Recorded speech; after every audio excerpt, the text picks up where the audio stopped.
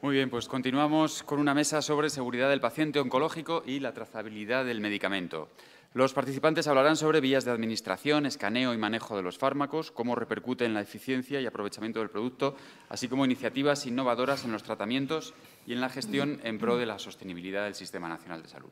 De su presentación más detallada y de la introducción del resto de integrantes de la mesa se encarga Cristina González Pérez, farmacéutica del Hospital Clínico San Carlos de Madrid. Muchas gracias. Buenos días a todos, bienvenidos compañeros, amigos. Ah, muchas gracias por vuestra presencia. Eh, me complace eh, invitaros a esta mesa redonda en la que eh, vamos a tratar un asunto de gran importancia como es el tema de la seguridad, del que hemos hablado mucho, y concretamente relacionado con las nuevas tecnologías y el, tema de la trazabilidad de los medicamentos antineoplásicos en este caso. Eh, quiero felicitar a los organizadores del evento por la elección del tema, porque además refleja su compromiso con el, paciente y con todos los profesionales que diariamente nos esforzamos en avanzar en el tema de la seguridad eh, en este sentido.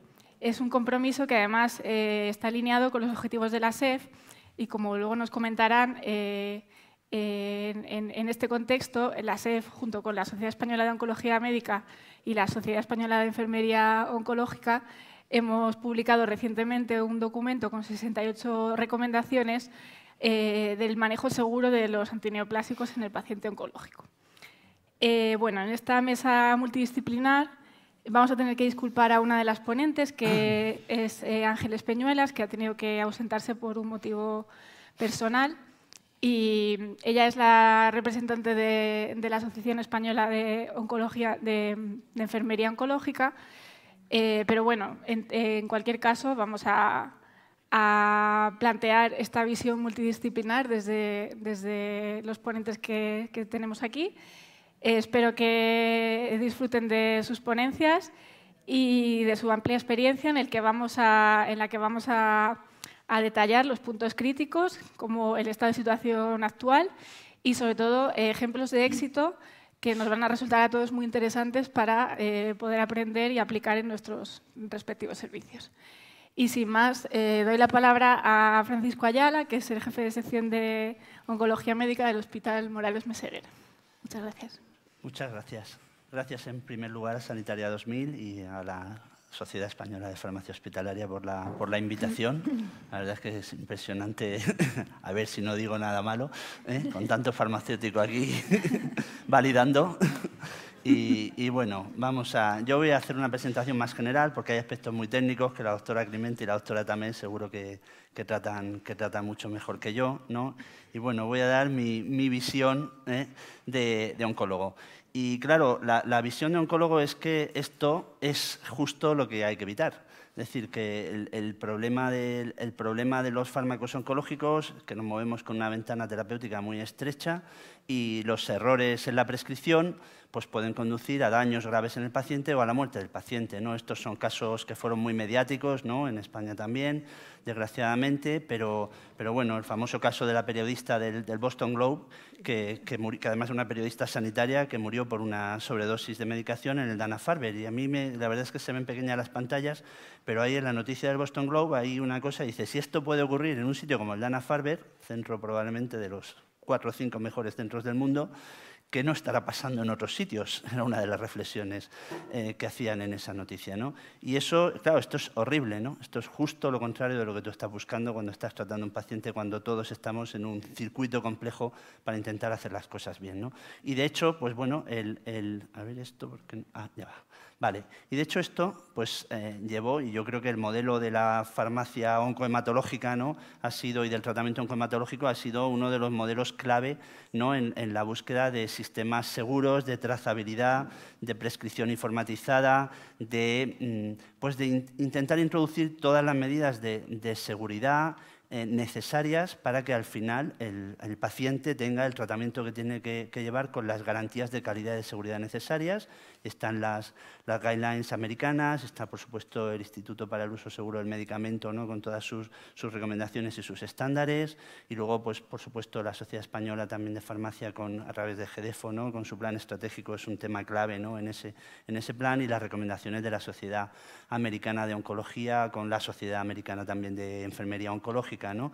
en, en áreas que no eh, se centran, que van más allá, porque bueno, yo creo que ya este concepto lo, lo tenemos todos, ¿no? la seguridad no es solamente Em, determinados aspectos técnicos de eh, cómo etiquetar, que son fundamentales, por cierto. ¿no? Yo me quedaba antes un poco impresionado con la charla de los desabastecimientos, porque yo, claro, yo lo vivía como que problema más grande de no tener el fármaco, pero claro, el tema de la seguridad me ha llamado bastante la atención, ¿no? es que es, es fundamental. ¿no? Pero claro, esto va mucho más allá, porque la información al paciente es un tema, antes lo comentábamos, ¿no? el paciente muchas veces es un paciente experto que sabe mm, perfectamente lo que estás haciendo y que te dice, oye, esto, mi médico, cuando lo ves a un paciente que no ha visto habitualmente, dice, mi médico normalmente me, pues hazle caso, porque muchas veces sabe por dónde vas, toda la información, todo, por supuesto toda la parte de consentimiento, pero cómo se comunican las órdenes, eh, aspectos técnicos de los que luego eh, se habla, toda la normalización del tratamiento, la prescripción electrónica,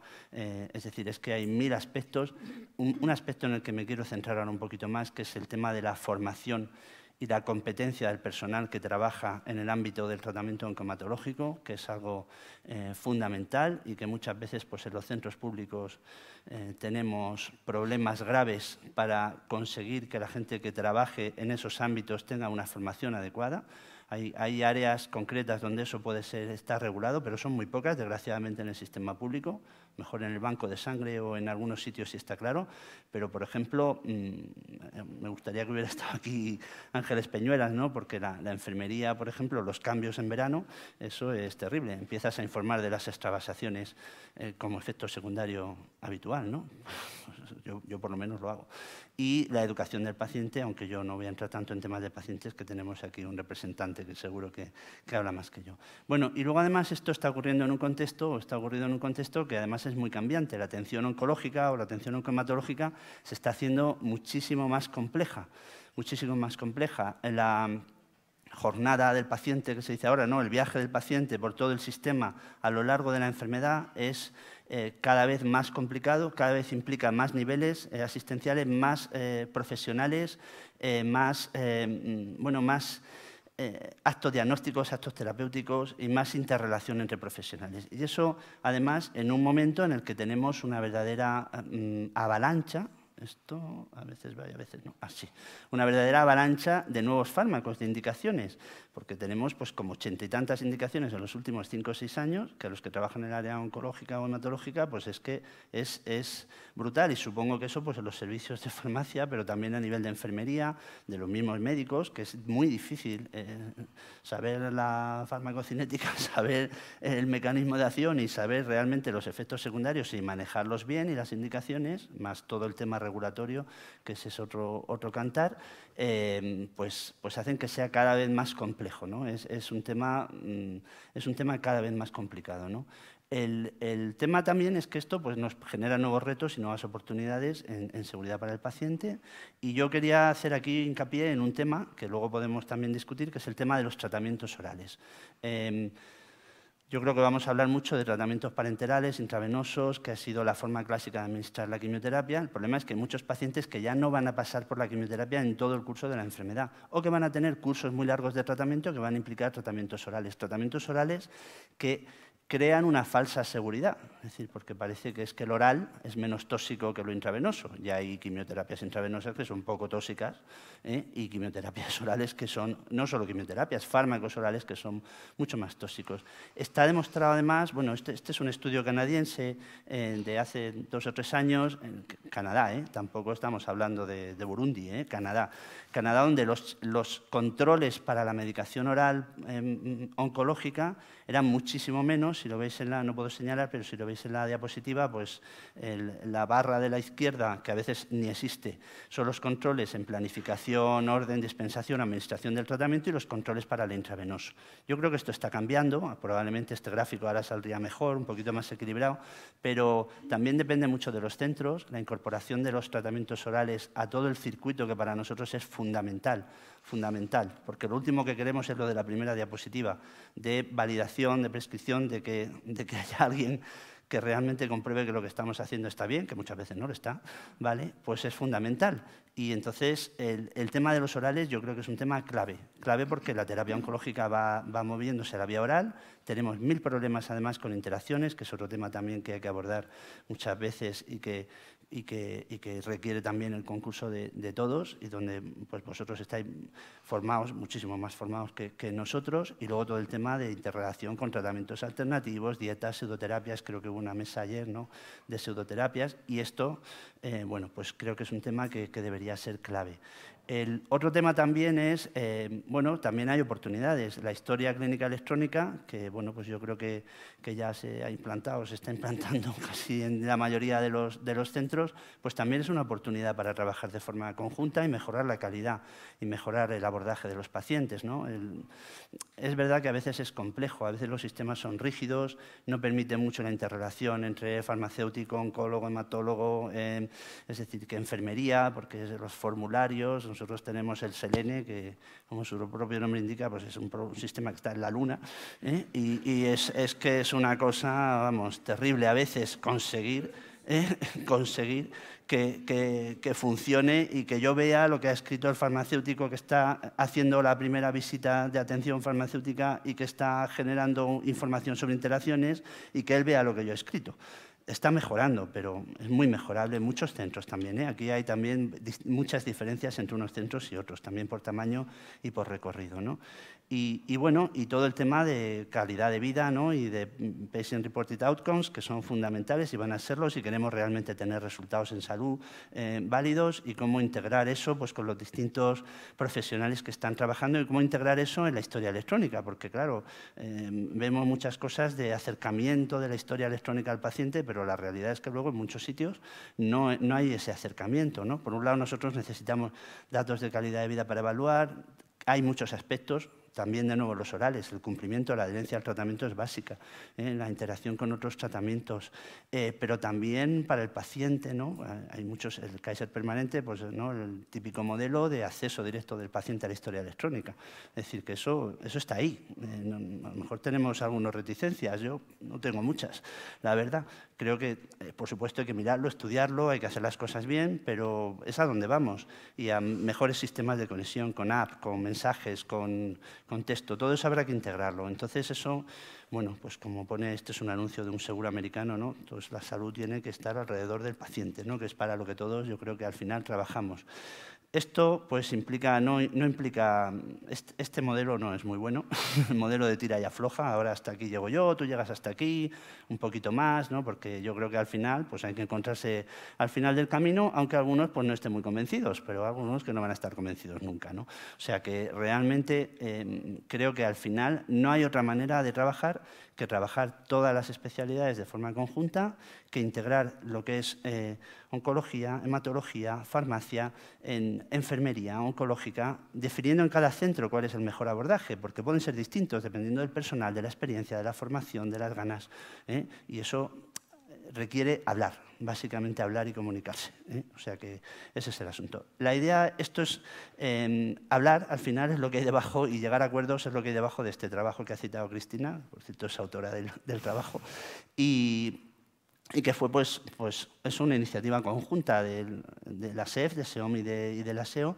para intentar dar unas recomendaciones, porque aunque había un trabajo previo de GDFO muy bueno, había recomendaciones publicadas, había trabajos también en oncología, más centros en hospital de día, pero que al final también integraban recomendaciones, pues no había un corpus de recomendaciones completas en, en, el sistema español. Son 68 recomendaciones, no os preocupéis, no la voy a contar, ¿vale? en cinco bloques grandes, ¿no? Hay un tema fundamental que es... Eh, eh, educación, control de calidad, lo que hemos hablado de política de personal es, desde mi punto de vista, fundamental y está bastante desatendida y es un punto clave para calidad. Y al final se trata pues, de construir un sistema entre todos que nos lleve a, mejores resultados. ¿no? Em, esto es eh, Aquí formación ya he dicho, para mí es fundamental, procedimientos y normalización, eso vosotros sabéis mucho más, el sistema común de historia, la identificación del paciente y sistemas seguros de los que ahora vamos a oír hablar seguro. Y al final también hay que crear a nivel más cercano al paciente, porque muchas cosas que están debajo y que el paciente no ve, pero que son clave, pero cercano al paciente tiene que haber un circuito eficiente y, de información y de educación al paciente. Yo creo que es inexcusable, por ejemplo, con los orales, que haya una primera visita farmacéutica, que, que muchos centros no la hay, ¿eh? que haya una primera visita, que se valoren interacciones de forma sistemática, que se, que se haga realmente un trabajo conjunto entre los servicios para que eso funcione bien y también con enfermería. Eso, cada, cada acuerdos. Luego, tiene que trabajarse en equipo. Me hubiera gustado estar ayer porque he visto que había una mesa de cómo integrar farmacéutico en los servicios hospitalarios, en los servicios clínicos y bueno, no lo sé lo que se habló, a lo mejor también puede salir aquí, aunque es complejo con, los sistemas de personal que hay en España, pero bueno. Y, luego todo el tema de transiciones y abordaje de interacciones. Yo creo que al final, eh, aunque a veces puede dar la sensación de que los clínicos somos un poco barrera, y yo no niego que a veces lo podemos ser, ¿eh? podemos ser barrera en ocasiones. Yo creo que en general la mayoría de la gente lo que tiene en la cabeza es que trabajar de forma coordinada al final nos va a llevar a mejores resultados. Y yo creo que ese es el, ese es el, el asunto y además nos va a permitir funcionar de una manera que con el cambio de modelo que tenemos ahora mismo de atención sanitaria de pacientes, aunque aquí tarde un poquito más en llegar que en otros sitios, o trabajamos así o no vamos a llegar nunca. Así que ese es mi mensaje final y ya está. Muchas gracias. Muchas gracias, Francisco. A continuación contamos con José Luis Vaquero Úbeda, que eh, tiene amplia experiencia en la industria farmacéutica y actualmente desempeña su labor eh, como director científico, como director y coordinador científico del Foro Español de Pacientes. Nos va a dar la visión desde el punto de vista de los pacientes. Adelante muchas gracias en primer lugar eh, a, todos por estar aquí, pero también yo quería utilizar un minuto para agradeceros de verdad muy sinceramente eh, toda la labor que, ejercéis. Em, lo que es hoy he podido estar en la mesa anterior también y junto con esta yo creo que las faltas de abastecimiento y los errores de medicación, eh, menos mal que, que os tenemos y de verdad quiero expresaros muy sinceramente eh, el agradecimiento que desde los pacientes os tenemos que, dar a quienes gestionáis pues esas faltas de suministro o esos problemas eh, en los errores de medicación. Bueno, eh, veréis, yo lo que quería empezar con otra noticia, ¿no? como esta que la conocéis todos, seguramente. ¿no? Fue la calamidad que ocurrió con una niña de, pocos meses eh, en el mes de noviembre, pero, eh, y fue por eh, un error en cuanto al, suero y el glucosado que, le dieron, que la niña finalmente pues, pereció. ¿no? Pero fijaos las causas. Las causas fueron un ratio inadecuado entre profesionales y pacientes y la causa fue también la distracción en el lugar de trabajo. Pero esto es vuestro día a día. Entonces, lo que quiero es empezar diciendo que los errores de medicación más nos vale que se despenalicen, porque lo que nos interesa es lo que nos interesa es que lo único que sea ciego sea la justicia. Es la única que tiene que ser ciega. Pero si eh, eh, no vamos a reconocer los errores de medicación, tampoco vamos a aprender a resolverlos.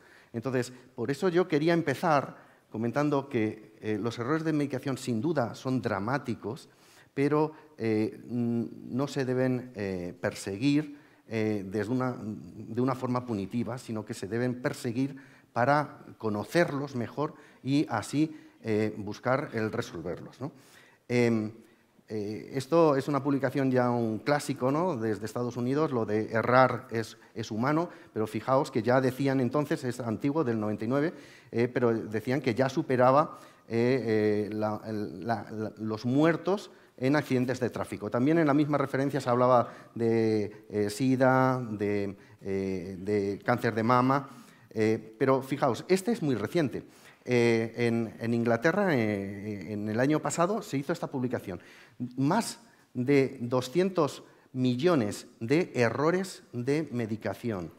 y de ellos, fijaos que un 21% estaba en la prescripción, y lo, más dramático, esto tiene puntero, ¿verdad? Lo más, ah, bueno, no, pero no tengo. Eh, lo más eh, dramático yo creo que es ese 54% en el momento de la administración. Eh, que ese es un cuerpo a cuerpo. O sea, la labor en la farmacia generalmente puede estar incluso supervisada, pero en el cuerpo a cuerpo de la administración generalmente es solo una persona y un paciente.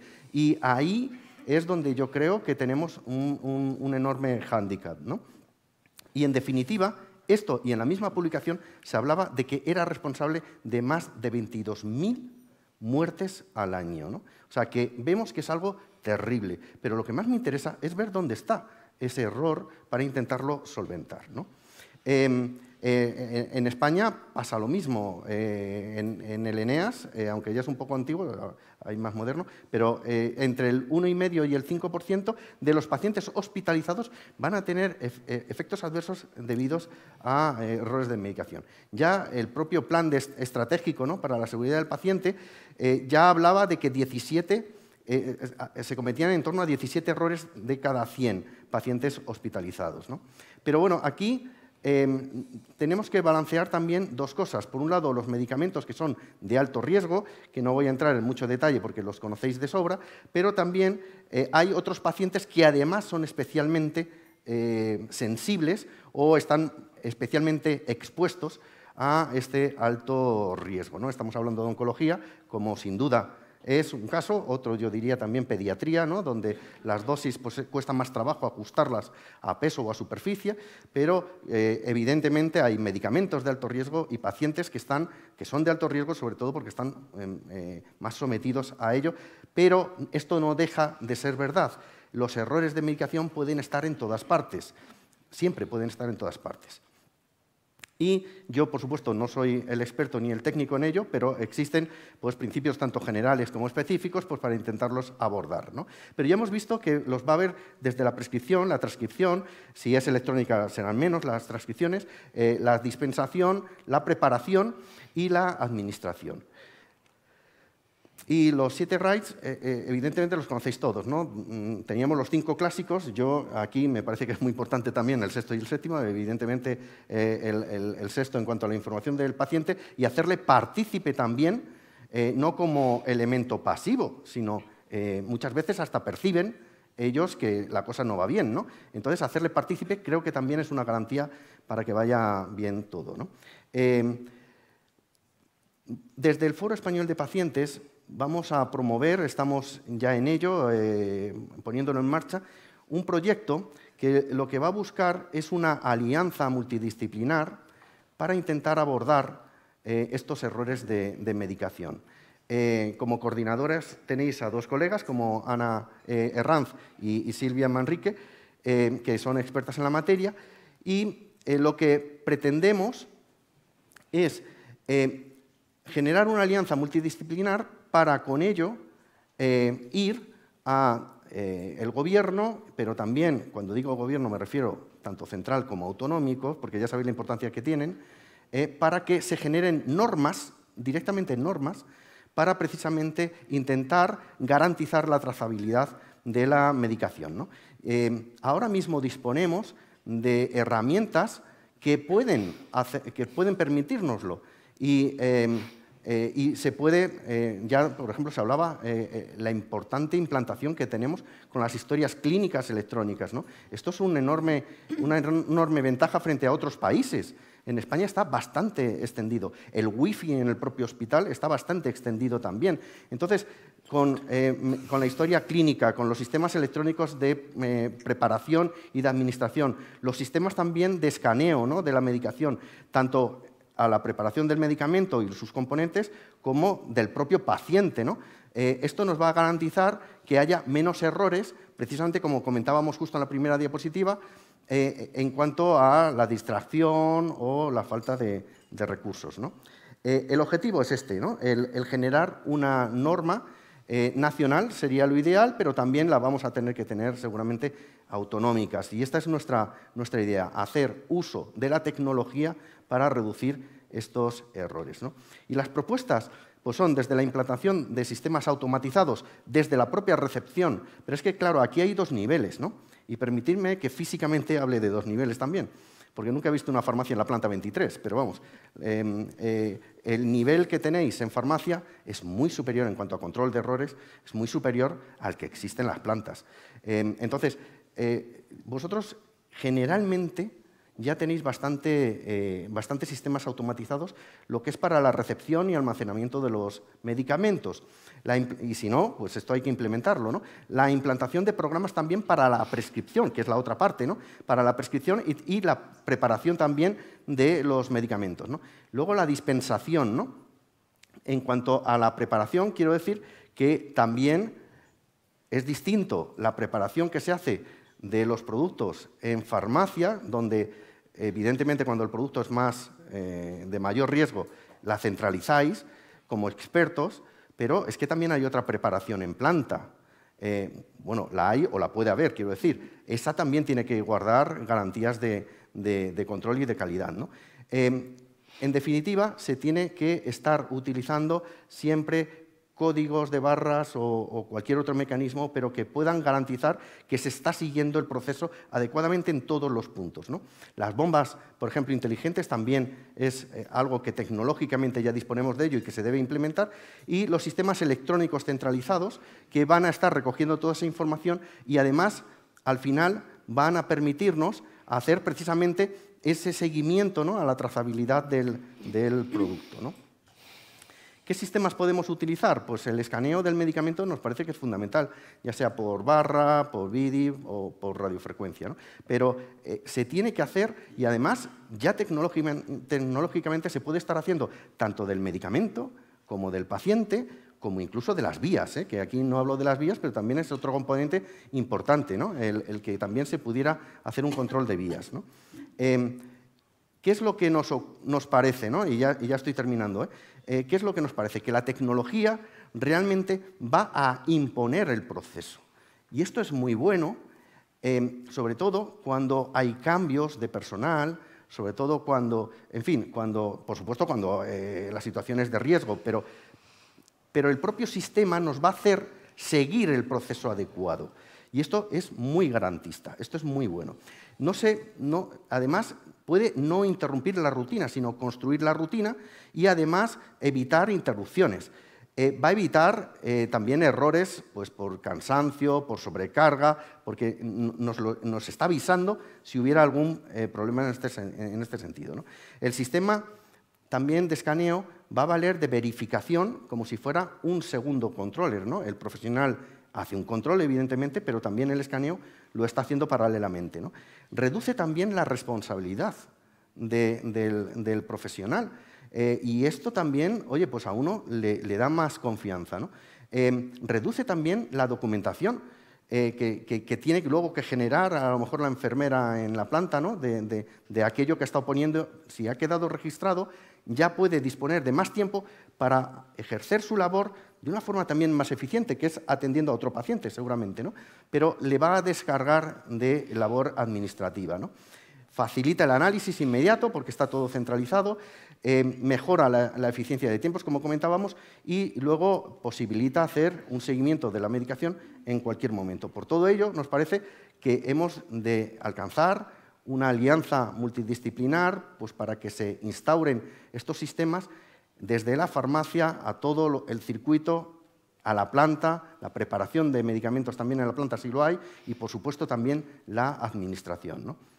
Em, el plan bueno, va a seguir una serie de pasos desde un análisis de la situación en la que estamos, eh, generar esa alianza multidisciplinar. La Sociedad Española de Farmacia Hospitalaria está pendiente todavía de confirmarnos, pero evidentemente eh, ha de ser una de las participantes, como también las clínicas, la de oncología, oncohematología, eh, UCI, pacientes frágiles en medicina interna, también las sociedades de enfermería, ¿no? de oncología, de UCI y de pediatría han sido llamados a ello. En fin, que esperamos que sea bastante multidisciplinar Vamos a hacer una propuesta del abordaje, vamos a validar incluso la aplicabilidad de aquello que propongamos por parte de la Alianza, incluso se van a hacer pruebas piloto y finalmente generar un manifiesto que será el que llevemos tanto a las publicaciones como a negociar con los políticos, tanto mm, eh, de gobierno como de oposición, como de ministerio y de comunidades autónomas.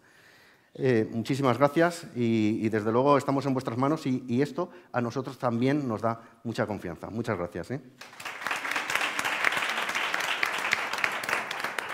Muchas gracias, José Luis. A continuación contamos con Mónica Climente, que es eh, la jefa de servicio del Hospital Doctor Peset de Valencia y nos va a explicar cómo en su servicio la tecnología ha redundado en, tanto en seguridad como en sostenibilidad. Muchas, gracias, Cristina, y a vosotros también por vuestra presencia y a Sanitaria 2000 por invitarme a participar en esta mesa y contaros nuestra experiencia en seguridad del paciente oncológico y trazabilidad del medicamento, en el que creo que muchos de vosotros os vais a ver reflejados en lo que ha sido el recorrido de los últimos 15-20 años de la farmacia hospitalaria. Porque la seguridad del paciente oncológico ha sido para los farmacéuticos de hospital desde siempre una absoluta prioridad no tengo que contaros que conocemos bien los riesgos propios de este tipo de medicamentos. Conocemos muy bien eh, los riesgos propios de un proceso farmacoterapéutico que es de extremada complejidad, no solo desde el punto de vista técnico, sino también desde el punto de vista de las múltiples decisiones que se toman en cada una de las fases de la cadena terapéutica. Prueba de ello es que, desafortunadamente, contamos todavía con cifras de prevalencia de errores de medicación en el ámbito oncológico que oscilan entre un 3 y hasta un 7% según los estudios, sin hablar de las consecuencias nefastas que hemos comentado también que no solo son, por supuesto, en primer lugar para el paciente y familiares, pero también para los profesionales sanitarios y para las instituciones, ¿no? para los, hospitales que sufrimos eh, de vez en cuando alguna de estas situaciones. Y todo ello justifica que desde hace muchos años hemos sido los farmacéuticos de hospital promoviendo el desarrollo de aplicativos informáticos que han ido integrando paso a paso cada una de las fases de la cadena terapéutica. En nuestro caso, sabéis que en el PSET participamos ya desde hace pues, más de 15, casi 20 años, diría yo, en el desarrollo de Farmison Cofarm, que ha sido un aplicativo que conocéis muchos de vosotros y que algunos también utilizáis, y empezamos con la prescripción electrónica en el ámbito de la quimioterapia antineoplásica pues hace más o menos alrededor de unos 15 años. Incorporamos posteriormente la validación farmacéutica, electrónica también, el control tecnológico en la dispensación y finalmente el control tecnológico en la administración mediante dispositivos que permiten comprobar la concordancia de paciente y tratamiento.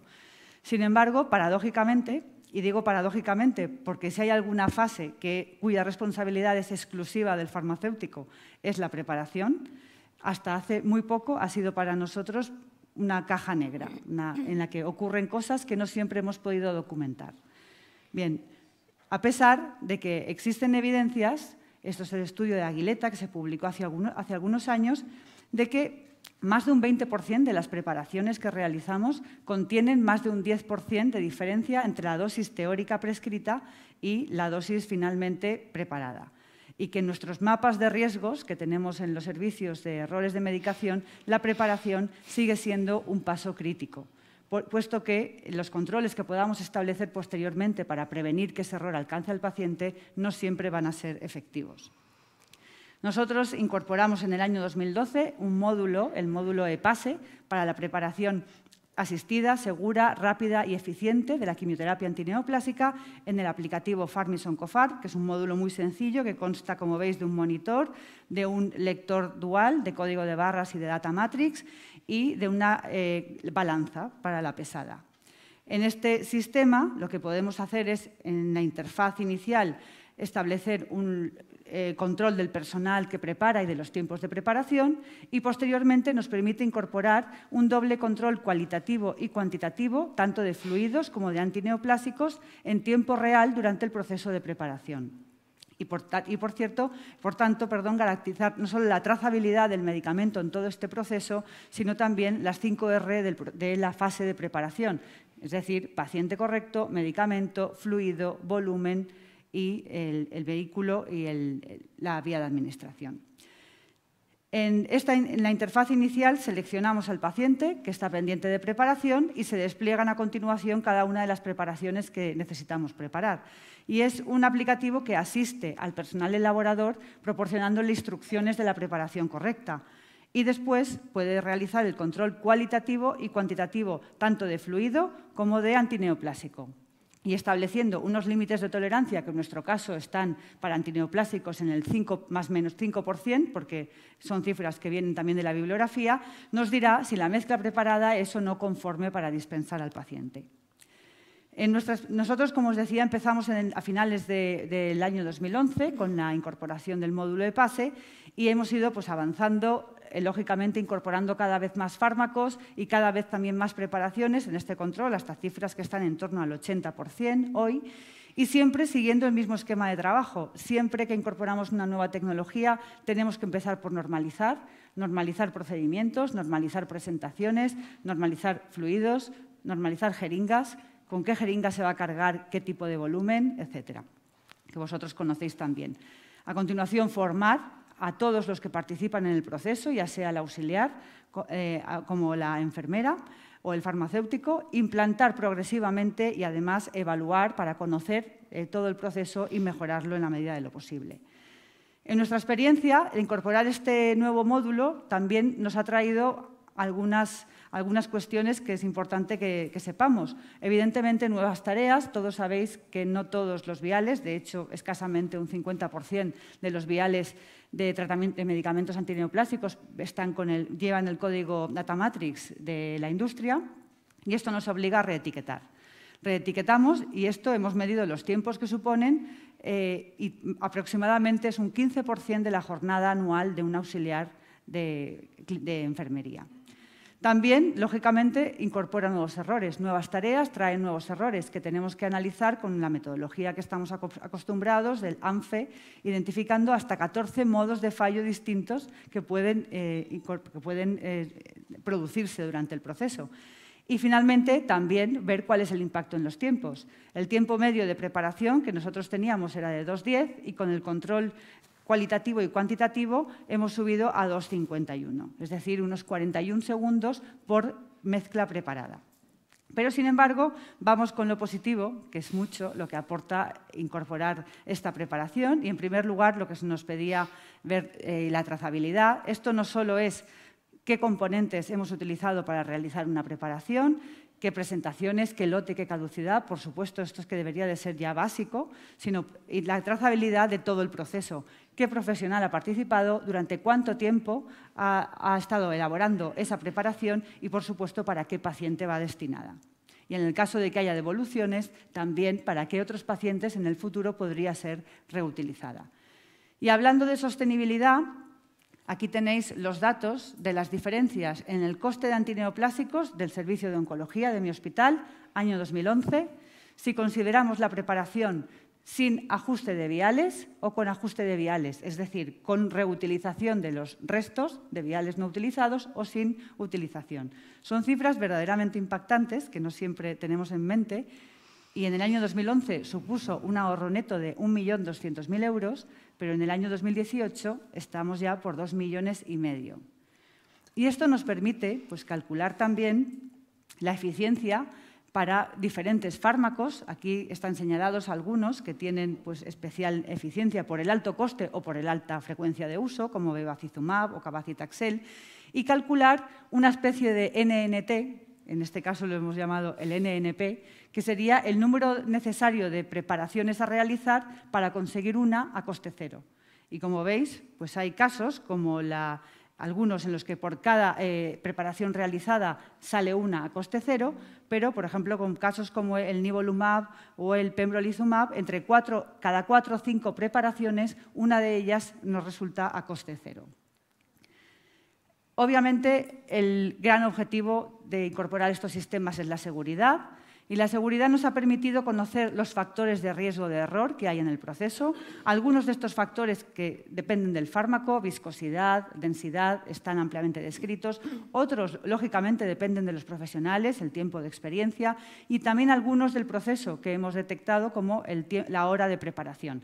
No tanto relacionada por el número, el, cansancio, por el que nosotros tenemos acotado el máximo de, de tiempo que una enfermera estará preparando en dos horas, dos horas y media, sino más bien por la presión asistencial que va acumulándose al final de la mañana. Hemos hecho un análisis multivariante de estos factores de riesgo y están señalados en rojo aquellos en los que se incrementa entre cuatro y cinco veces el riesgo de error.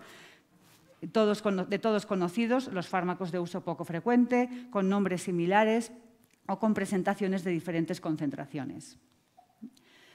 Evidentemente, la exposición del profesional es también uno de los aspectos en la seguridad que nosotros hemos desarrollado desde hace mucho tiempo, con la incorporación de sistemas cerrados y demás. Con este sistema podemos controlar la exposición de cada uno de los profesionales en tiempo y también en tipo de fármacos que ha preparado. La seguridad para el paciente, el, control cualitativo y cuantitativo nos ha permitido duplicar la tasa de errores de preparación interceptados. Aquí podéis ver que si la tasa global, como digo, se, duplica, en el caso de los errores cuantitativos casi se triplica y el impacto es, es menor en el cualitativo, en los errores cualitativos. De manera que esto podemos expresarlo de esta forma. Cada 750 eh, preparaciones se intercepta un potencial error cualitativo en fármaco antineoplásico, pero cada 65 se intercepta un potencial error cuantitativo, que por nuestro volumen de trabajo esto viene a ser una preparación al día. Y estos errores interceptados, en su mayoría, un 65% son de infradosificación, pero hay un 35% que son de sobredosificación. Y aunque de ellos, la mayoría, un 60, están entre eh, desviaciones de dosis entre un 5 y un 10%, hay un 15% que superan el 30% de, de, diferencia entre la dosis teórica prescrita y la dosis preparada, lo que evidentemente tiene implicación en la morbilidad y en la calidad de vida y, por supuesto, en la eficiencia del sistema, porque tenemos referencias que estiman entre alrededor de dos días de estancia las consecuencias de un ingreso por toxicidad de quimioterapia y como estimación muy conservadora los 1.290 euros por error evitado, porque hay otros estudios que llegan en casos de hospitalización y toxicidad grave hasta los 22.000 por, por error evitado. Hay otros costes evitados, costes directos en la preparación de medicamentos, por anticipar la detección de los errores de preparación en fases tempranas, lo que evita, lógicamente, el desecho de las, preparaciones. Este impacto es, lógicamente, menor, pero tampoco es despreciable. Otra de las cuestiones que nos aporta es calidad. Nosotros tenemos el proceso farmacoterapéutico oncológico certificado por norma ISO desde la prescripción a la administración, conjuntamente con oncología y hematología y la enfermería de hospital de día, y esto nos ha permitido definir estándares para saber cuándo nuestro proceso está dentro de unos límites aceptables de, calidad y, por supuesto, mejorarla. Y, finalmente, hablando también de la satisfacción, porque nuestro, el sistema de certificación nos exige medir la satisfacción de los profesionales entre sí. Y estas son las opiniones de oncólogos y pacientes sobre la confianza que les genera la preparación en el servicio de farmacia de los, de los antineoplásicos. También hemos medido la satisfacción de las enfermeras con el uso de los dispositivos de seguridad de administración. Como veis aquí, nos ha costado más implantarlo, todavía estamos en cifras en torno al 60% de utilización, pero va ganando en satisfacción lo que esperamos que promueva, lógicamente, la, adherencia también a estos sistemas. Ya para terminar, pues, empezaba diciendo que la seguridad del paciente oncológico ha sido para los farmacéuticos una gran prioridad y yo creo que si todos pensáis en cómo era la preparación de antineoplásicos hace 15 años en vuestros servicios y cómo es ahora, creo que es evidente en todo lo que hemos avanzado con la tecnología fundamentalmente como aliado, pero sin olvidar también otras cuestiones como la centralización de la preparación en servicio de farmacia, que conlleva una elevada normalización, y la formación de todos los implicados. Todo lo que nosotros hemos aprendido en el PSET de calidad y seguridad lo hemos aprendido de la mano de oncólogos, de enfermeros y de hematólogos. Y yo creo que hemos convertido un sistema o un proceso altamente complejo en un proceso que hoy es el paradigma de la calidad y de la seguridad para el paciente que nos gustaría, desde luego, extender a, otros pacientes hospitalizados y también ambulatorios.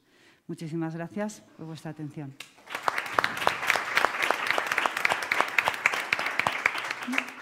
Muchas gracias, doctora Climente. A continuación pasamos, tenemos el privilegio de contar con María José Tamés, que es la jefa de servicio de la Fundación Oncológica de San Sebastián. Soy jefe clínico. Ah, jefe clínico.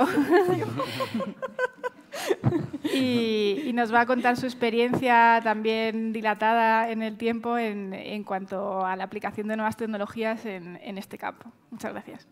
Bueno, en primer lugar, pues agradecer obviamente a Sanitaria 2000 y a la SEF el poder estar aquí entre vosotros, a vosotros por estar aquí aguantando y sobre todo aguantarme a mí ahora porque ya también después de lo de Mónica, pues a lo mejor hay muchas cosas que os van a parecer como muy semejantes, pero bueno, quizá también pues la, la perspectiva desde dos hospitales distintos, de ámbitos distintos, etcétera, pues bueno, pues a lo mejor pueda aportar alguna, alguna, alguna pequeña novedad.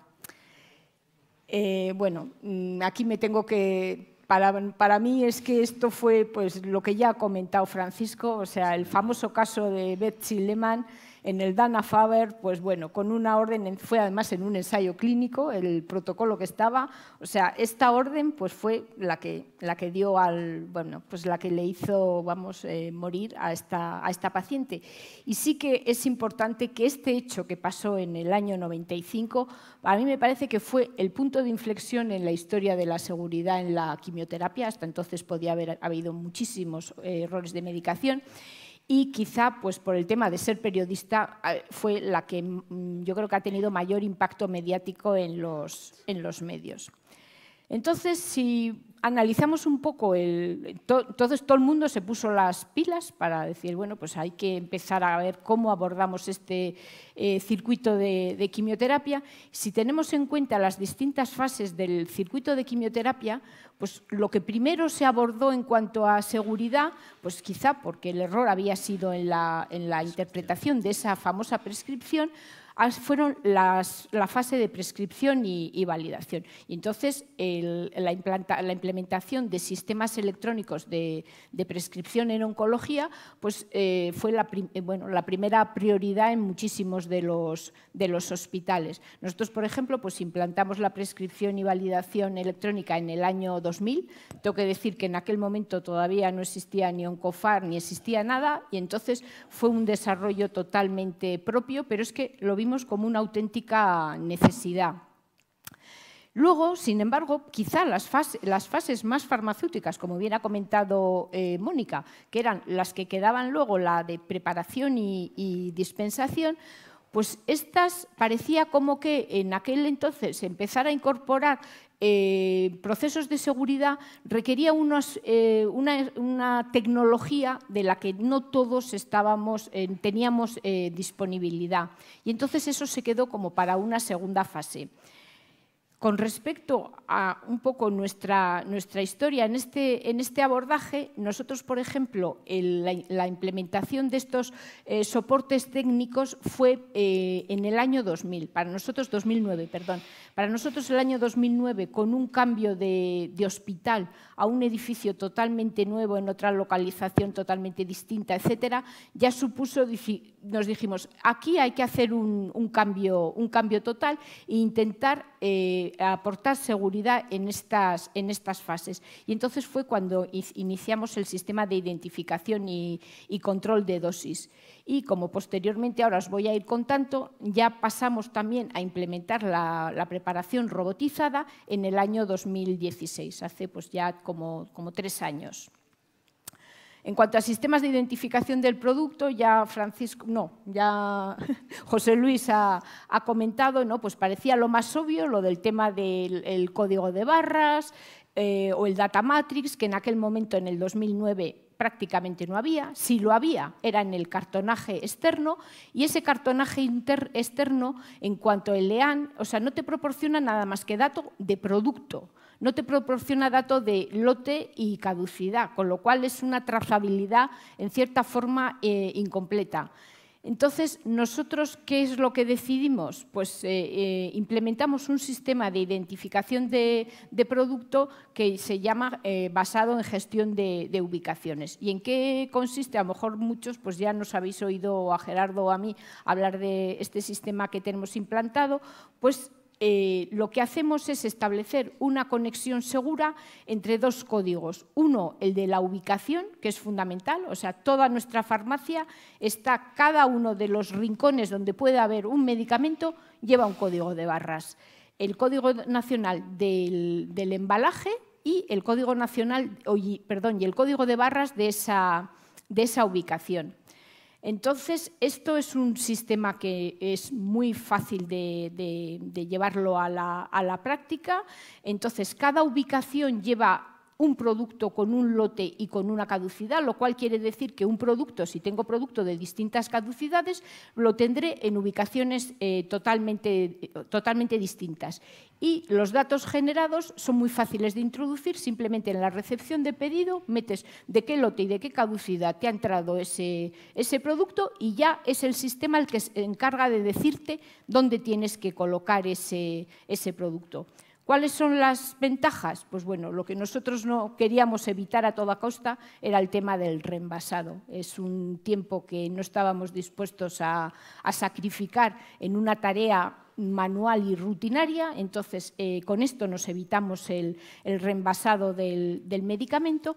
Por otro lado, conseguimos una eficiencia del espacio con un aprovechamiento máximo Mantenemos trazabilidad de lote y caducidad, que con el código de barras del medicamento no lo, no lo teníamos. Y luego pues, también podemos implementar, por ejemplo, pues, eh, unos algoritmos de ubicación, pues, por ejemplo, si quieres tener mayor seguridad de, determinar distancias en las ubicaciones que me asigne el sistema, pues para que no queden por si acaso muy juntos dos eh, determinados productos, etcétera, etcétera. Y luego también todos los movimientos, porque nosotros ya en el año 2011 nos convertimos en un hospital hospital sin papeles. No hay papeles no solo en la farmacia, sino en el hospital. Entonces, todos los movimientos pues, se pueden hacer con PDAs, PCs, lectores, etcétera, etcétera. Este es un poco el aspecto que tiene la, que tiene la farmacia, esta es de la unidad de preparación. Ahí veis a la enfermera que va con su carrito y va leyendo de donde el sistema le dice que tiene que retirar el producto para la preparación de ese determinado paciente. Cada caja corresponde a un paciente. Y entonces, bueno, pues ahora ya parece que tenemos el producto adecuado, pero para mantener la seguridad ahora tenemos que preparar una dosis, una dosis correcta. Y entonces fue cuando en el año 2009, al cambiarnos de hospital, introdujimos el control gravimétrico en, el sistema. Eh, la balanza está lógicamente eh, bueno, conectada con el, con el software y eh, obtenemos así todos los, eh, todos los datos de la, del control gravimétrico. Un poco la secuencia en la preparación de, la quimioterapia, la, diapositiva de la imagen de la derecha sería la enfermera leyendo eh, la preparación que va a hacer, en pantalla le aparece un poco cómo tiene que proceder, no tiene hojas de trabajo en papel, sino que toda la información aparece allí. Nosotros también tenemos un, eh, le aparecen también abajo, que bueno, veis como dos líneas abajo, que le aparecen las preparaciones que tengo parcialmente utilizadas, los viales. Pues mira, de este paclitaxel que dices que tienes que coger tres, pues resulta que tienes estas dos porciones. ¿Te interesa coger una? Estas porciones están totalmente identificadas. Cuando te queda una porción en el sistema te genera la etiqueta para poder, con su lote caducidad, el lote que tenía, el lote caducidad, y esa caducidad del producto inicial y del producto eh, una vez reconstituido. Y eh, la enfermera pues, se maneja, son pantallas táctiles, con lo cual interacciona con la pantalla de cara a las eh, instrucciones para la preparación de la, de la mezcla. En cuanto a trazabilidad del producto, pues aquí no sé si podéis ver bien en el cuadro, en el cuadro central, aparece arriba, por ejemplo, en este oxaliplatino, la dosis prescrita era, la dosis nominal era 145, la balanza nos ha, devuelto 147,78, o sea, que es lo que realmente va en la preparación que hemos hecho, que supone un 1%, de, un 1.86% de desviación. Los márgenes de aceptabilidad tenemos igual que, que Mónica ha comentado, el más menos 5%. Más menos 5%. Con lo cual, y aquí aparece pues la descripción de cuándo se ha hecho la prescripción, quién la ha hecho, la validación, la generación de etiquetas de las enfermeras, cuando se han preparado las bandejas, o sea, la preparación propiamente, la dispensación, también cuando mandamos nosotros la preparación a hospital de día, también pasamos el lector de código de barras. Luego en hospital de día, oye, a ver, que es que tarda mucho la preparación en farmacia. Mira, los datos son estos, o sea, no nos podéis ahora reclamar eh, que hemos tardado mucho cuando la realidad es esta y finalmente la administración.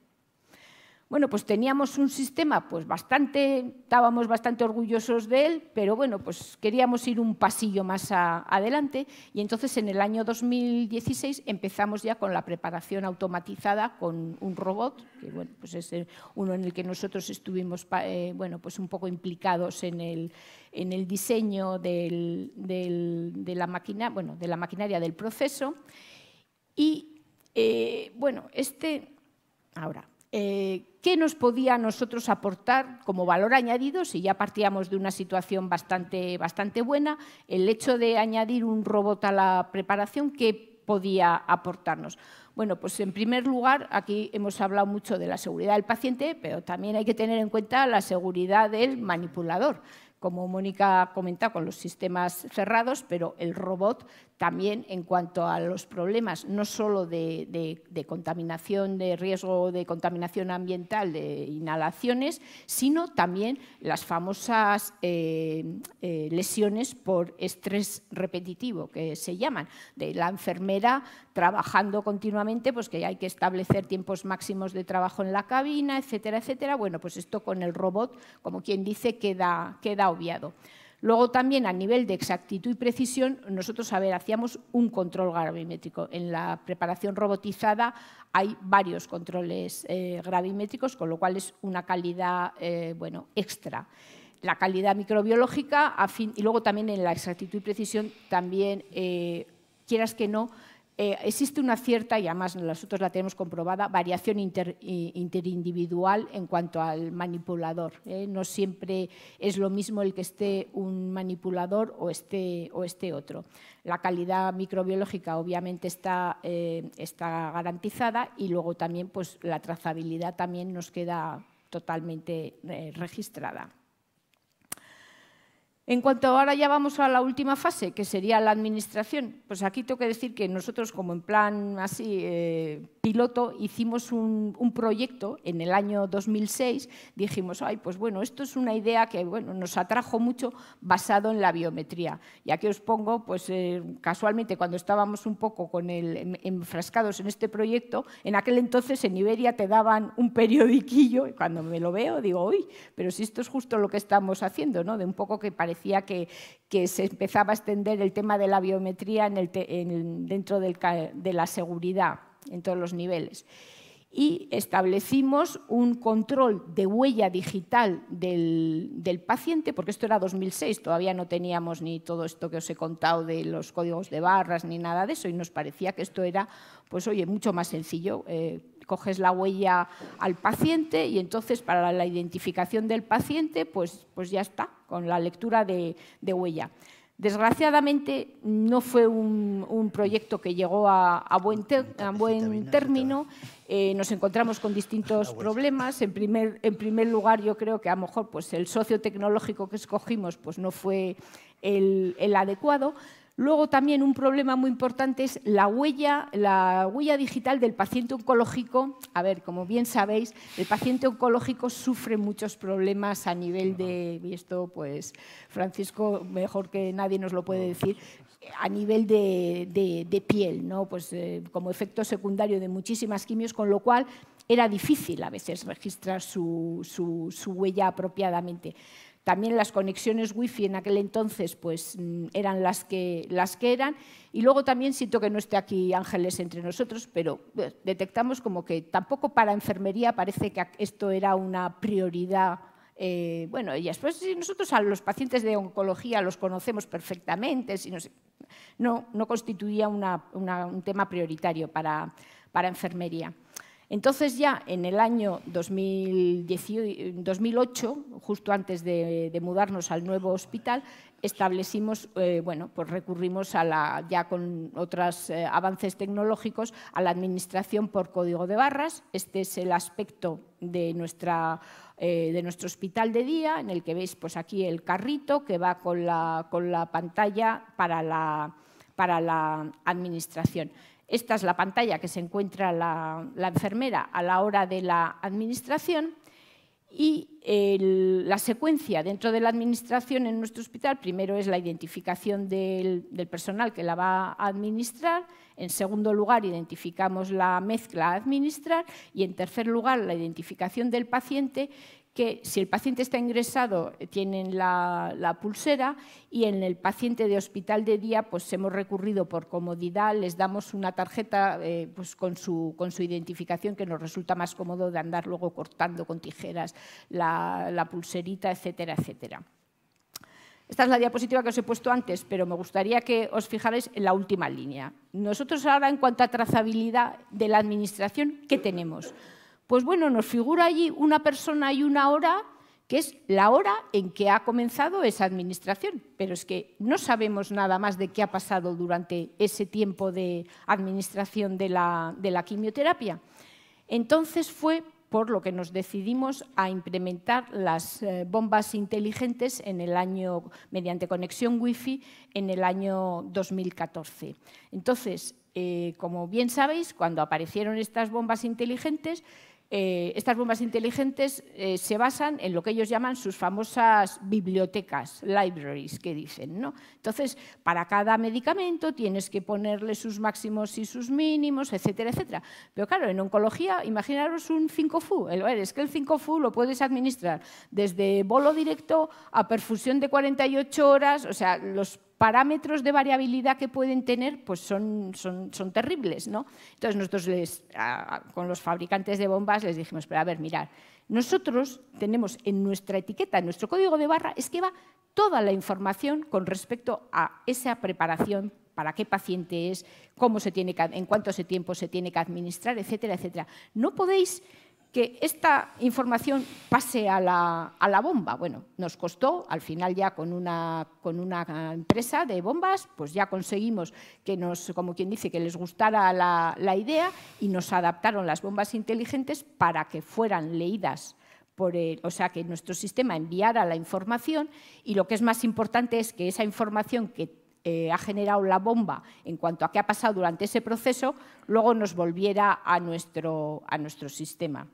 Desde el punto de vista práctico, teníamos la administración hasta aquí y entonces ahora hemos incorporado la lectura de la bomba, de la bomba inteligente, con lo cual ya sabe a qué bomba, eh, eh, o sea, esta bomba, a qué preparación ya todo lo, demás se, refiere.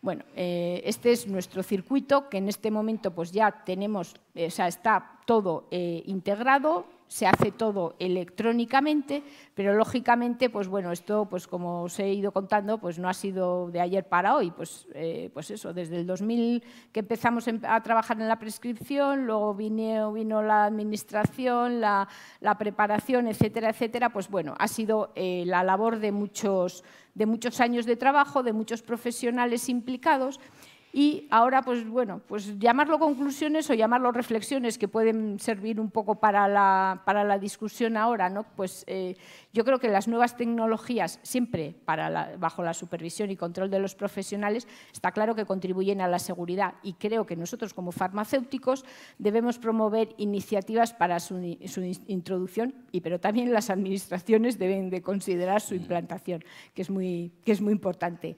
Luego, en ningún momento, y esto también lo tenemos clarísimo, hay gente que, bueno, no, como esto ya está, está eh, bueno, se hace por código de barras, se hace no sé qué, en ningún momento eh, debe suponer la introducción de nueva tecnología el abandono de la guardia de los profesionales sanitarios, de verdad, ¿eh? o sea, siempre hay que mentalizar a, las enfermeras, a todo, que vale, que aunque tienes todo esto como ayuda, por favor, tú tampoco bajes la guardia.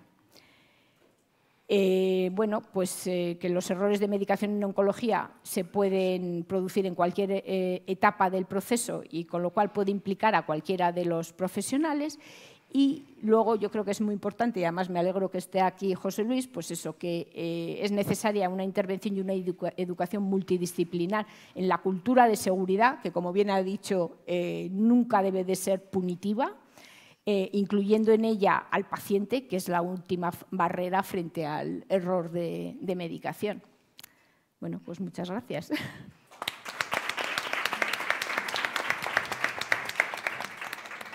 Muchas gracias, María José. Bueno, tenemos unos minutillos. Eh, yo quería abrir el turno de preguntas a los asistentes porque me han parecido unas charlas muy interesantes en, en todos los casos, tanto en eh, desde el punto de vista más técnico de, los servicios de farmacia como de los puntos de vista de otros compañeros eh, en el que ya hemos hablado un equipo multidisciplinar, aunque nos ha faltado, por desgracia, el punto de vista de enfermería. Entonces, quería abrir el turno de, preguntas si, si alguno de los asistentes quiere plantear alguna pregunta.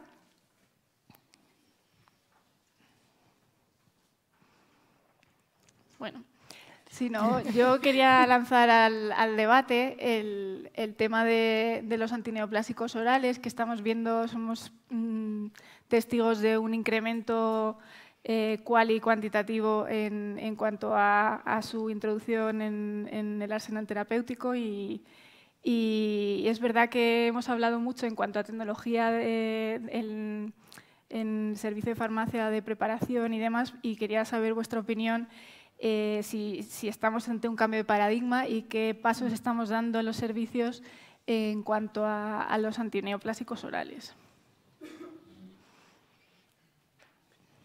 Bueno, eh, yo, eh, yo creo que sin duda se va a cambiar la forma de, de, trabajar y aquella transformación que ya en los servicios de farmacia ya habéis vivido, yo creo que ahora hay que exportarla a las plantas de arriba.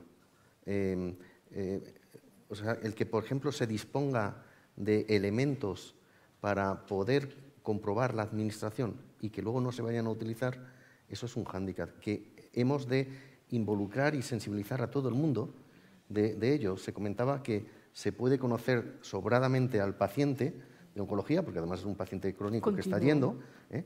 pero eh, se le ha de sensibilizar que a lo mejor las prisas, a lo mejor tal, eh, a, él le conoces, pero esto, esto es una bolsa que a lo mejor las has mm, eh, eh, cambiado o tal, y, tienes que cotejar que las dos informaciones se cruzan, y eso te lo va a dar el sistema, aunque estés conociendo a Pedro. ¿no? Entonces, yo creo que ahora nuestro principal hándicap es el que en planta, sobre todo en, administración del medicamento, se esté cotejando el medicamento y que le corresponde a este paciente. O sea, hemos de eh, involucrar a los demás profesionales. Hay un tema ahí que es el tiempo.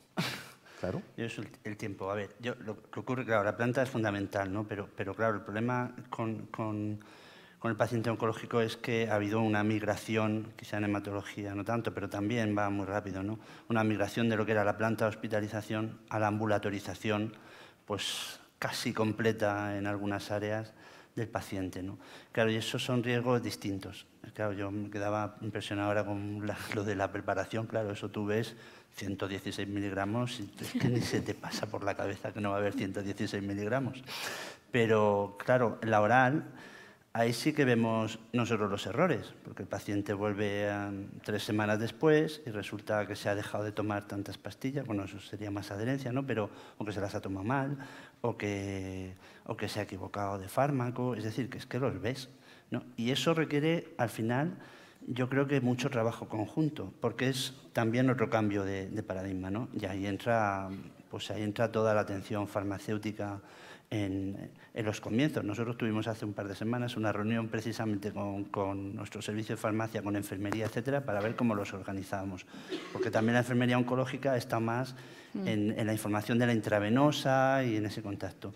Pero claro, aquí yo creo, y esto, bueno, pueden los distintos servicios, y como no está la enfermera no me voy a meter en jardines, pero, pero hay también sus, líos, ¿no? pero en los distintos servicios se puede llegar a distintos acuerdos. ¿no? Y, claro, el momento de la primera visita eh, por parte del farmacéutico, que no solo dispensa, sino que hace más cosas, es fundamental. Hay que educar al paciente, hay que hacer conciliación, hay que ver interacciones, eh, muchas cosas para los que tú lo intentas en la primera visita o cuando cambias de tratamiento y das una información somera, pero hay que repetirla, hay que, hay que darla bien eh, por supuesto, yo puedo mirar, pues eso, los cuatro hierbas que se están tomando, intentar convencerlo de que no se las tomen y comprobar interacciones, pero no, no tengo, eh, a veces ni, tengo tiempo, ni tengo capacidad, ni formación. Entonces, creo que al final es un nuevo reto, el oral. Y el oral mm, va más, el oral tiene muchos riesgos, es muy caro, ¿eh? estamos hablando de sostenibilidad, un tratamiento mal tomado, ineficaz, o que se esté tomando con otro fármaco, pues estás tirando a la basura 20.000 euros al año. Es decir, es que es visto desde un punto de vista puramente economicista, ¿no? aparte de la pérdida de eficacia o el aumento de toxicidad para el paciente. ¿no? Entonces yo creo que es un, reto. Y el problema es que eso requiere tiempo. Y los tiempos, pues la reunión del otro día era porque, claro, no me puedes poner un tratamiento a las dos y media porque yo tengo que hacer una primera visita que me va a llevar media hora tres cuartos. Ese será el motivo y totalmente de acuerdo. pero es difícil, porque yo creo que aquí hay mucha diferencia entre los distintos servicios. Em, hay servicios donde eso está muy claro, hay bueno, servicios, centros, más bien no son servicios, son centros hospitalarios, ¿no? Y sitios donde la gente lo tiene más claro, lo tiene menos claro, se ha llegado a acuerdos o no se ha llegado a acuerdos, no sé cómo lo veis, pero para mí es fundamental, ¿eh? desde luego. Bueno, yo creo que en nuestro caso, lo que es el proceso farmacoterapéutico desde la prescripción a la dispensación, seguimos prácticamente el mismo que, para la quimioterapia intravenosa o parenteral. Hay un proceso de prescripción electrónica basada en esquemas previamente consensuados y validados, incorporados en el sistema. Hay validación farmacéutica, hay registro de lote y caducidad, eso sí, manual. Y eh, no hay un control de la dispensación por código de barras. Sí que hay el registro electrónico de la dispensación, pero no. Aquí la cuestión, y relacionando con los tiempos, es que yo creo que la tecnología una vez más va a ser nuestro aliado. De hecho, apuestas por la robotización, como habéis hecho vosotros y que nosotros estamos, yo creo que en breve, puede ser en dos semanas, ya por fin empezando a trabajar también con el robot, con el mismo que tienen vosotros, al final tenemos que buscar que la parte técnica, poder delegarla en el personal de enfermería o técnico que tenemos en los servicios de farmacia, porque hay que rescatar tiempos para esa atención farmacéutica que también nos va a obligar a hacer cierta reorganización funcional Creo que hay muchos servicios de farmacia en, los que todavía el paciente oncológico externo eh, lo ven los de pacientes externos y no lo ve el de oncología. Y yo creo que esta es una concepción que debemos de empezar ya a cambiar. Por otro lado, también la tecnología, la participación y el feedback del paciente nos lo va a permitir, nos lo permite ya, de hecho, pero van a venir muchas apps y, bueno, Oncofart mismo va a tener su, su, su cuarta pata, ¿no? porque faltaba la participación del paciente de alguna manera en el sistema, que nos pueda eh, eh, registrar adherencias y toxicidades para que podamos también pues, agilizar las consultas, tanto las vuestras como las de enfermería como las, nuestras. Creo que eso está por venir, pero lo tenemos ya aquí. Hombre, yo creo que eh, el paciente que está con tratamiento oral normalmente es un paciente ambulatorio entonces, eh, yo creo que eh, eh, se está viviendo una evolución y cada vez más hospitales están incorporando servicios de farmacia, hoy servicios, perdón, consultas de atención farmacéutica para el paciente con, quimioterapia, con quimioterapia oral.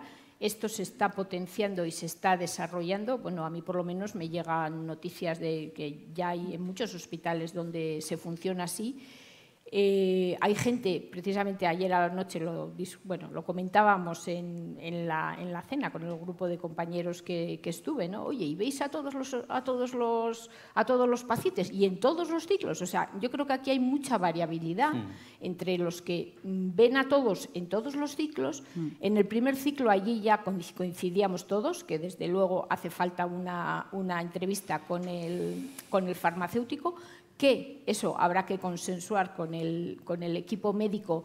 Oye, podríamos tener, nos podríais avanzar, eh, pues a este paciente puede que le ponga este tratamiento oral para ya tener un cierto margen de maniobra para irte estudiando las interacciones, consultando, mirando la medicación domiciliaria, mirando tal. Entonces, eh, ahí hay una labor de, de coordinación pero luego, por lo menos nosotros hemos establecido un, plan de estratificación para el paciente oral y entonces en función de unos parámetros, pues nos sale una puntuación que dices, bueno, pues a este paciente se le ve pues cada tres ciclos. A este se le ve, no, no, a este pues es un paciente de riesgo, por tal, por tal, por tal, este hace falta verlo todos, este hace falta verlo cada seis. Entonces, eh, bueno, pues yo creo que hay que adoptar herramientas, cada uno pues cogerá las que más se adecúen a su, a su situación, pero yo creo que esto es una cosa que, que, está evolucionando y que se está desarrollando a grandes pasos. No sé vuestra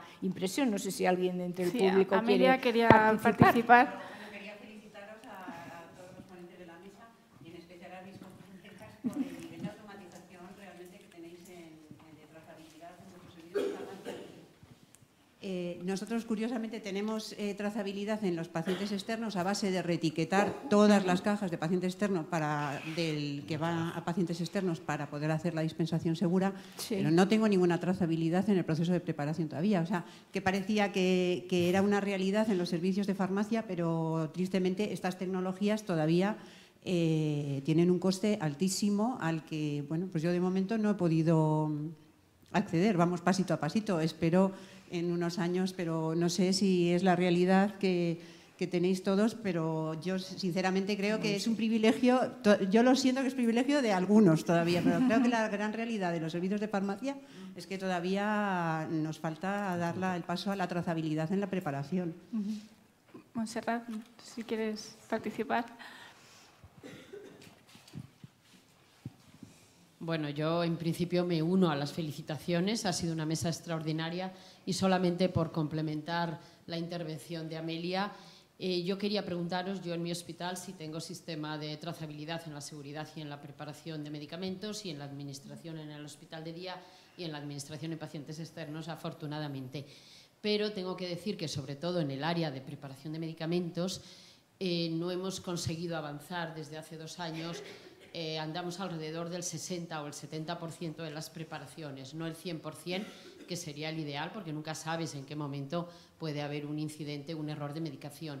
Eh, una de las barreras que hemos encontrado, que es lo que quería yo compartir con vosotros, es la reticencia del personal manipulador especialmente pues enfermería. Siento también que no esté la representante, pero seguro que alguien del público nos puede ayudar en este sentido, porque no admiten, les cuesta decir, entender que, eh, como siempre, llevan preparando los medicamentos y además son expertos en la preparación de medicamentos, que se pueda cometer un error. Es cierto que esto es a base de mucha formación y además mm, van cambiando, ¿no? Luego, por otra parte, hay algún enfermero que se siente muy seguro, dice, a mí esto me da una seguridad y una tranquilidad que duermo por las noches, pero sí tenemos una barrera a la hora de la preparación. También hemos enlentecemos el, el sistema, eh, aproximadamente en los, eh, no llega nosotros alrededor de un minuto por preparación, con lo cual tenemos más presión del hospital de día, porque en cierto modo pues los ciclos llegan un poquito más tarde y es una de las barreras que nos cuesta, que vamos caminando, que vamos avanzando,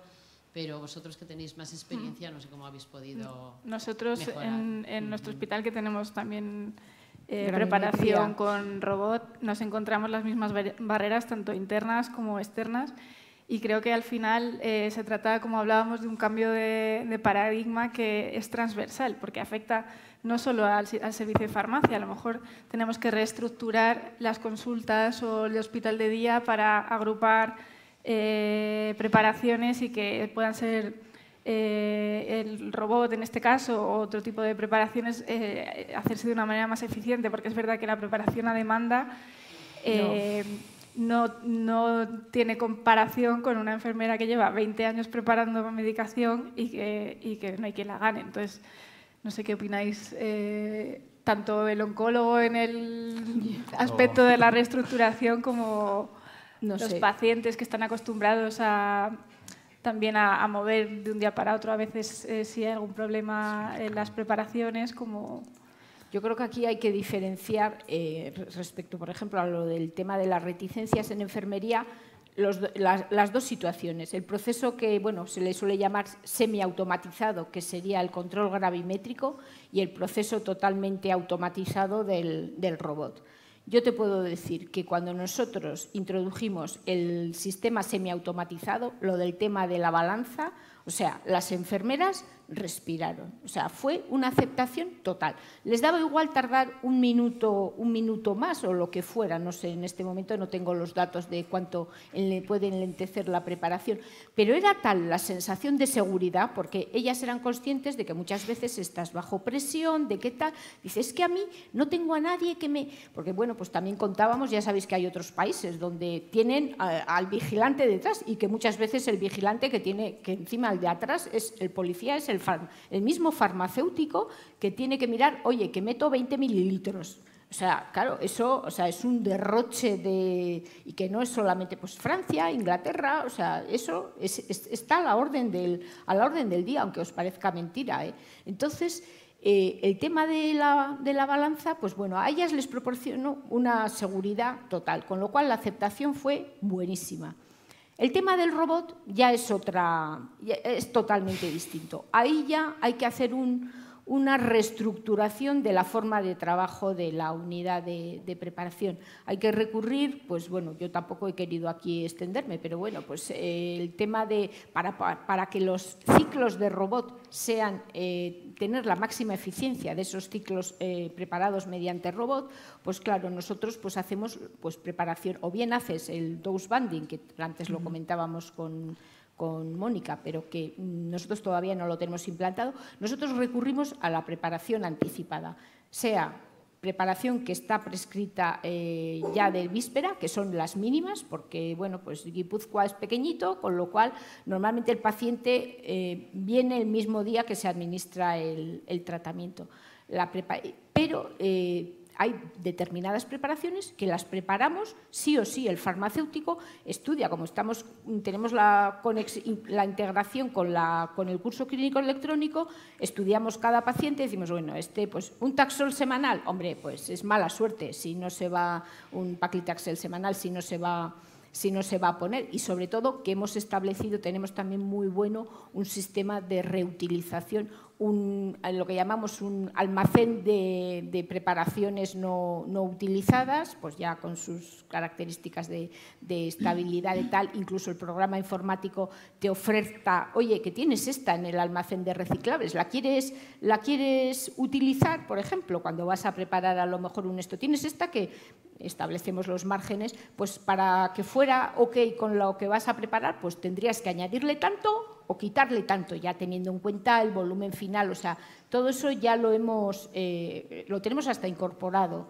Entonces, pues recurrimos a preparar con antelación y a arriesgar arriesgar. Pues oye, mira, ¿qué, hay que, ¿qué hacemos? Claro, no lo hacemos con los anticuerpos monoclonales, solamente los que se usan mucho, pues a lo mejor el bevacizumab, pues que, bueno, pues por nuestras patologías sí que es de gran utilización, pues esos sí que lo, sí que lo hacen, los trastuzumab, por ejemplo, es que se preparan y se ponen, pues bueno, pues si no se pone hoy, pues ya se pondrá mañana o ya se pondrá pasado.